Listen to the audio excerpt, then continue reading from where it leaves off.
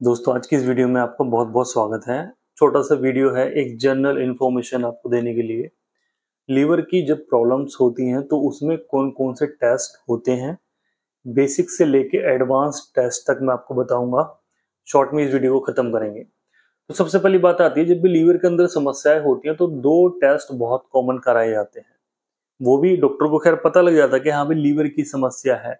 पेट में भारीपन रहने लगा है, जी कच्चा रहने लगा है उल्टी आने लगी है, रंग पीला होने लगा है और पेट में इस एरिया में जो लीवर वाला एरिया है उसमें दर्द है। बट जाँच की ज़रूरत इसलिए पड़ती है कि एक बीमारी का स्तर देखा जाए कि क्या वो फैटी लीवर ग्रेड वन है टू है या थ्री है।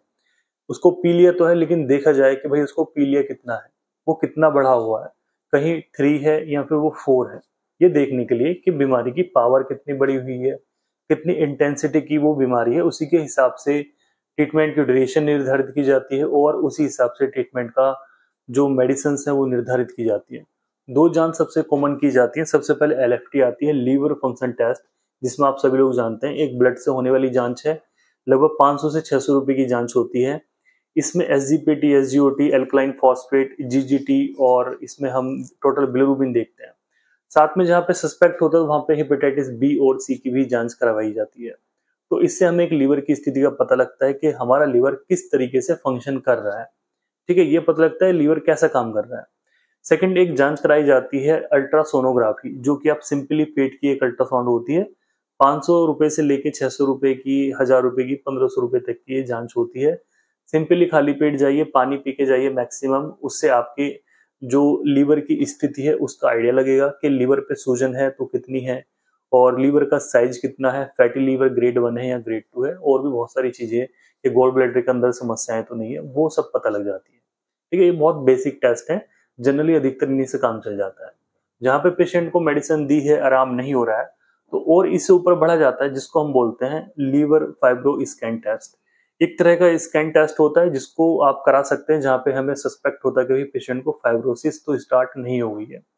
तो एक तरह की एडवांस टेस्ट होती है जो कि एडवांस बीमारी के लिए देखी जाती है। तो ये लगभग पच्चीस सौ रुपए से लेके चार हज़ार रुपए तक की जाँच अलग अलग सिटीज़ में अवेलेबल होती है। तो इसमें भी कोई ऐसी प्रॉब्लम नहीं होती है। इसके अलावा और जो जाँच की जाती है, आप बड़े स्तर पर अगर देखना चाहते हैं तो सीटी स्कैन करा सकते हैं एमआरआई करवा सकते हैं। वो जाँच निकली जहाँ पे हमें स्थिति क्लियर नहीं हुई है और पेशेंट को प्रॉब्लम हो रही है। इवन उसको वहाँ पे भी कराते हैं जहाँ पे मलिग्नेंसी का सस्पेक्ट रहता है और देखा जाता है कि जो सेल्स हैं, जो मलिग्नेंट सेल्स हैं, वो कितने एरिया में फैली हुई है। तो सिटी स्कैन एमआरआई आप करवा सकते हैं डॉक्टर के कंसल्ट करके ही आप इसको करवाइए। नेक्स्ट और लास्ट आती है इसमें लीवर बायोप्सी या फिर एफ़ भी आप करवा सकते हैं डॉक्टर के अकॉर्डिंगली एफ़ करवाते हैं तो पाँच से दस हज़ार रुपये का खर्चा आता है। इवन लीवर बायोप्सी हम कराते हैं तो लगभग पंद्रह से बीस हज़ार रुपये का खर्चा आता है।